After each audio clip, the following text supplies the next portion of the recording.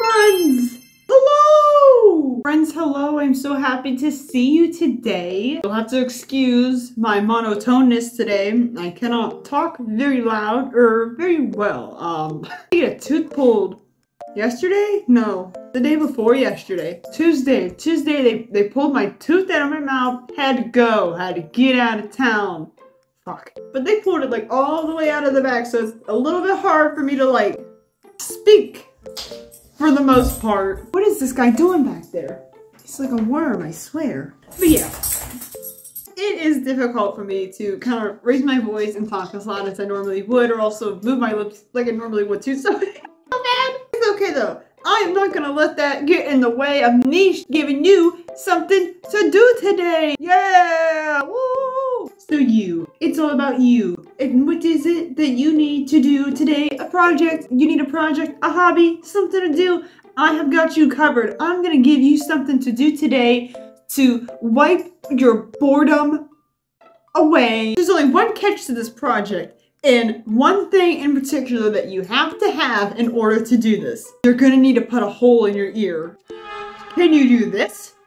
Perchance, we are gonna be making some little earplugs today. You can follow along if you'd like to, because you know, here we're always having a, a jolly good time. But this will be a lot of fun, because I'm gonna take you on a journey back to the early 2000s, where this was very, very popular to do to yourself.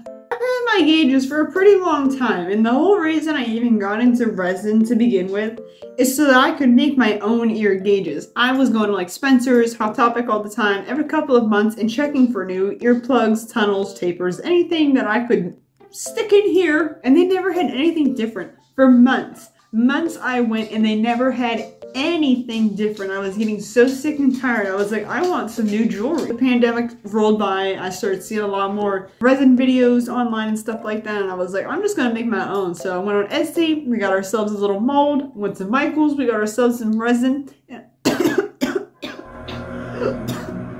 Suck spit while I was talking. Oh.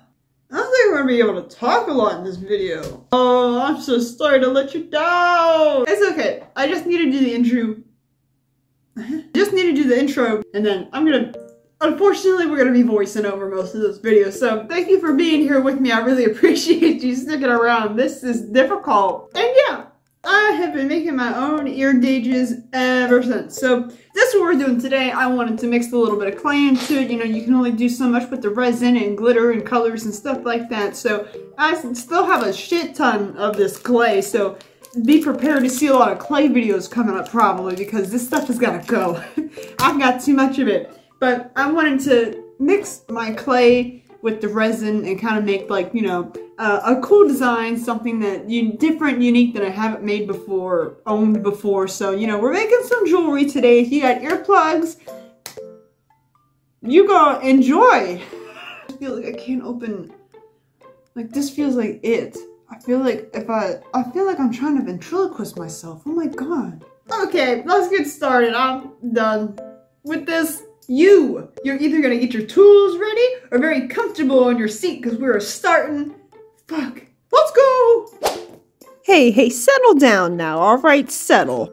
Alright, as you can see, I've got two colors of clay here, and what I'm doing now is rolling them into a ball to get rid of any cracks or anything in that, make sure it's all smoothed out, and then I'm going to flatten it with my hands here just to kind of stretch it and pull it apart best that I can so it fits the size of the gauge that I'm going to be placing it on. Notice how the clay still has a little bit of thickness to it. You really don't want it to be very thin. So you want to leave it a, a little bit of girth, but not too girthy. So you can go ahead and roll it out as well. Oh, oh, careful there, cowboy.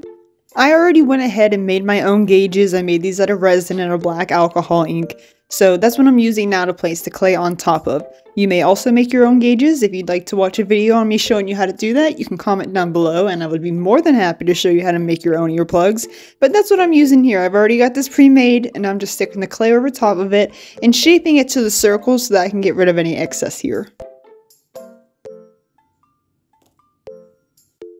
Now, with all the excess clay removed, I'm just using a little roller tool to kind of smooth it out and make everything nice and flat. No lumps, no fingerprints in it.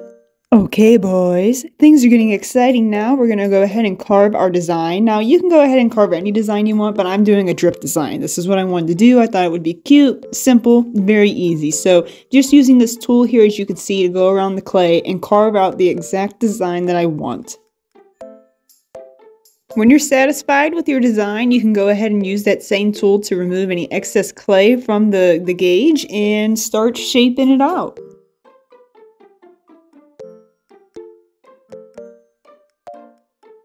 And when you're all done, it should look something like this. I did the pink and the green one yesterday as a test run to see how it would look and work for me, and it worked out really well. So that's where we're doing the pink and the black one today. And now we're just going to go ahead and repeat the same process to make a matching pair for each.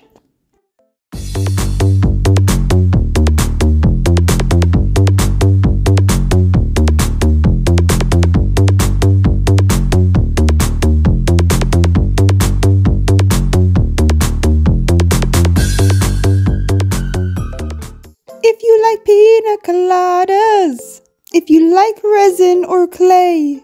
Now let me give you a quick update because using your eyeballs, you're to notice that something strange is going on here, okay? So first off, the hearts are because I had some leftover resin these hearts are just to be little fridge magnets. Now, but if you look at the clay, you'll notice that I painted over top of it with my shiny paint. You know that I'm obsessed with my shiny paint. So everything now has a color shift to it, including the purple one here, but the pink and the green and everything's got a color shift effect now. What I'm doing now is using resin over top of everything. I'm brushing it on with a very cheap dollar store paintbrush. I don't recommend using a paintbrush that you like. It will not come off. It will ruin the paintbrush. So use something that you're okay with throwing away later because it will be ruined. But I just mixed up a little bit of resin, you don't need a whole lot, and I chose to do this because if I take the clay off of the gauges now at this point and try to bake them, it's going to ruin the design. It's going to all fall apart because it's so soft. So it's best to just leave them on where they're at and then cover with some resin. If you have UV resin, that might be a little bit easier and quicker. You won't have to wait as long. I'm just using regular old resin, so I'm going to have to wait a few hours, hit it with the torch a few times and knock out any bubbles. And these should be really cute when they're done, so I cannot wait till these are dried. I cannot wait to see if you're going to do this too because these are actually looking pretty good. I'm pretty proud, pretty excited. Make sure to hit that like, that thumbs up for this, y'all. Well, here is our final product. I am so excited. These are looking really good to be honest. You know me and projects, sometimes they get really chaotic and really out of control, so I cannot wait till these are dried so I can check them out, see how they look and feel. I'll check back with you in a few hours. Great googly moogly! I'm so bad at starting videos so early in the morning. Like by the afternoon, I just I just know what I'm gonna say and what I'm gonna do. In the morning, I have no fucking idea. I sit here for 30 minutes in between each cut, just thinking about what the hell am I supposed to say? It's difficult. so, okay. So we're gonna see how everything turned out now. I'm gonna put these in, test out the gauges and stuff, check out the little fridge magnets. I'll glue some little magnets on the back of them later. I was worried because last night I checked them out and usually when I do resin, I'm very impatient. Now you should wait like 8 to 12 hours before you go popping things out. 8 at least. But that's like the bare minimum. Like it's probably still to be a little bit like a little bit flexy, a little, it's still hardening. You know, it takes a couple hours for it to harden up. So I was touching it like six hours in last night and like the clay was being weird and I was really worried that like it wasn't gonna like chemically react properly because originally I was gonna use the Mod Podge and it was like Mod Podge won't react with your soft clay the way you want it to so I was like I just used the resin but uh I think everything came out okay. I think if anything I would just need to go back and put maybe a little bit more resin over the clay and more so around like the edge of the gauge more than just on the top but I think that everything came out amazing. Everything is dried, everything's good to go. So let's be popping on it! What the fuck is wrong with me? Also, don't judge my bun. You can if you want, I suppose, because you're a human with free will and shit. I just did this to put the, the gauges in, and I made this bun six times. Six times I did this, and it, I'm done. I'm done with it. Ow! Hit my elbow. Back the fucking chair. What's going on? Take a quick look at these. These are looking pretty cute. Here's our little heart one. Here's our other little heart one with the pink. These are super cute. I cannot wait to stick these on my fridge.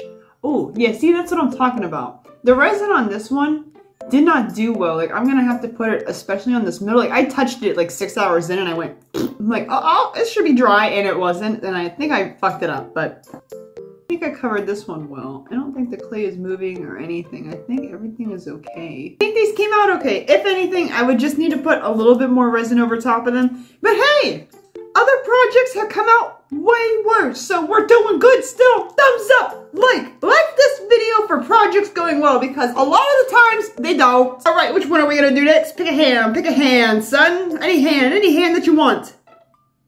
This one? Ah, good choice. Pop these out. Oh. Okay, these are cute. I do like these. I, it's hard to see the pink.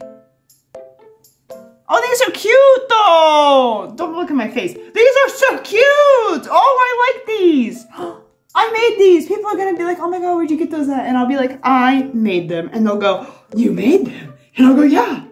Yes, I did. Don't you just love arts and crafts? Cute. Look at this. Oh, obsessed. Okay, let's check out our other ones now. If I like the pink and the green ones that much, I think that I am about to fall. Oh yeah, I'm falling in love. Oh, these are cute. Oh, these are cute. I can't believe I made these and it worked. And it came out okay. Everything went. Ow, what am I doing? oh, now it's sideways. Stop it. Oh, these are cute.